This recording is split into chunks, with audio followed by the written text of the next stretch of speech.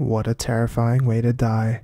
These photos are of Michael Rockefeller, the third son of the powerful billionaire Rockefeller family. Michael went missing in late 1961 in Papua New Guinea after he was stranded in a boat 14 miles offshore. Initially, it was believed he drowned attempting to swim to shore, but evidence points to something far more sinister.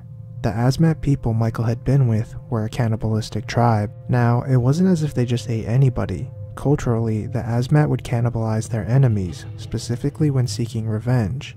Unfortunately for Michael, a few years prior, the Dutch had a deadly confrontation with the separate Asmat village, the same village Michael would have landed upon when making it to shore.